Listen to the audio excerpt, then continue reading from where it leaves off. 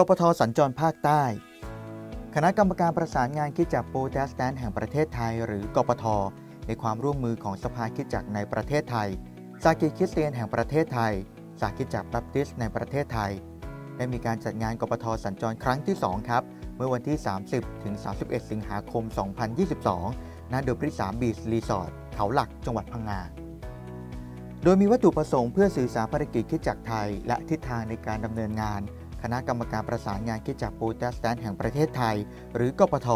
โดยผ่านงานคณะกรรมการเพื่อการประกาศและเพิ่มพูนคริสตจักร หรือกปพ เพื่อให้บรรลุวัตถุประสงค์ของการจัดตั้ง กรรมการประสานงานคริสตจักรโปรเตสแตนต์จังหวัด หรือกปจ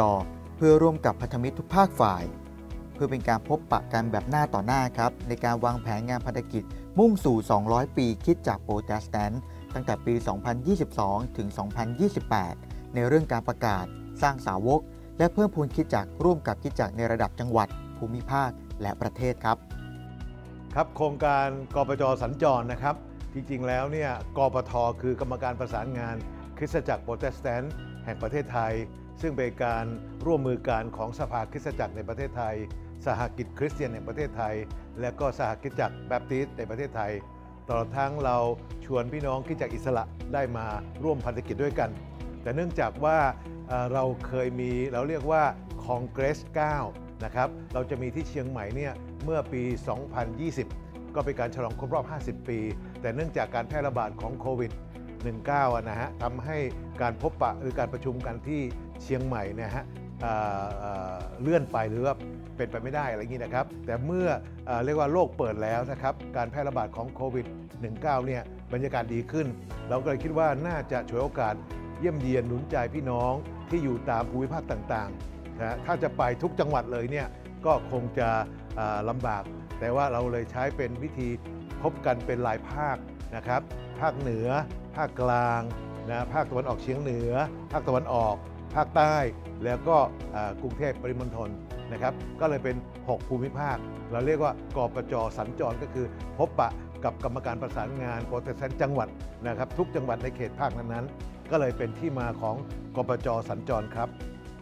งานกปทสัญจรภาคใต้ มีผู้นำกปจเข้าร่วม 12 จังหวัด รวม 92 คนครับ กปท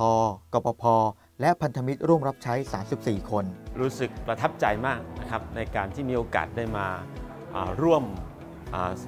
ในการอาอยู่ร่วมกันนะครับของผู้นำอ่าในภาคใต้ในวันนี้นะครับ รู้สึกเป็นนิมิตหมาย อันดีที่พระเจ้ากำลังเริ่มต้นการดีของพระองค์ในภาคใต้ เพื่อให้เกิดการฟื้นฟูนะครับเห็นภาพของความเป็นน้ำหนึ่งใจเดียวกัน ในพระกายของพระเจ้านะครับที่จะขับเคลื่อนอนิมิตในพระมหาบัญชาของพระเยซูคริสต์ให้สำเร็จในประเทศไทยนะครับ ดีใจมากแล้วก็คิดว่าเป็นน้ำพระทัยของพระเจ้า ที่พระเจ้าต้องการฟื้นฟูในเขตภาคใต้ เพราะว่าถ้าเรามองไปถึงเมื่อ 20-30 ปีที่แล้ว ต่างคนต่างก็ทำมีกรอบของตัวเองมีกำแพงของตัวเอง แต่ว่าณเวลานี้กำแพงเหล่านั้น มันถูกทำลายไปหมดแล้ว เหลือแต่เป็นน้ำหนึ่งใจเดียวกันฝากพี่น้องร่วมใจกันประกาศ และอธิษฐานเผื่อสู่เป้าหมายปี 2025 ที่มีเป้าหมาย 111 ขยายคริสตจักรไปสู่ 10,000 แห่ง 10,000 ผู้นำ 1 ล้านผู้เชื่อในปี 2028 ซึ่งเป็นปีที่ครบรอบ 200 ปีคริสตจักรโปรเตสแตนต์แห่งประเทศไทย พี่น้องครับงานของพระเยซูคริสต์เจ้างานของแผนอันเนี้ยใหญ่เกินไปกว่าที่คริสตจักรเดียวทำได้ มันมากเกินไปกว่าองค์กรใดองค์กรหนึ่งจะแบกรับได้ มันยากเกินไปกว่าคณะใดคณะหนึ่งจะแอบสอบหรือรับเอาไว้ได้ แล้วมันลำบากมากเกินกว่าที่นะเราเรียกว่าภาคใดภาคหนึ่งจะทำได้ไม่ได้จำเป็นต้องร่วมมือกันโดยเหตุนี้จึงขอพี่น้องหลายนะสามอย่างให้เรารู้นิมิตอันนี้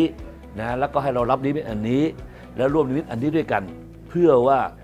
นิมิตของพระเจ้าในประเทศไทยจะคืบหน้าและสำเร็จ และแผ่นดินของพระเจ้าจะมาตั้งอยู่แผ่นดินไทยคิดจักเดียวทำไม่ได้ครับคณะเดียวทำไม่ได้ องค์กรเดียวทำไม่ได้ ภาคเดียวทำไม่ได้ ต้องร่วมมือกันเป็นหนึ่งเดียวกัน แล้วเมื่อเราเป็นหนึ่งเดียวกันพระเจ้าจะอวยพรบทบาทกองพระเจ้าสำคัญมากต่อการอวยพรของพระเจ้าครับ CGTV Thai News สวัสดีครับ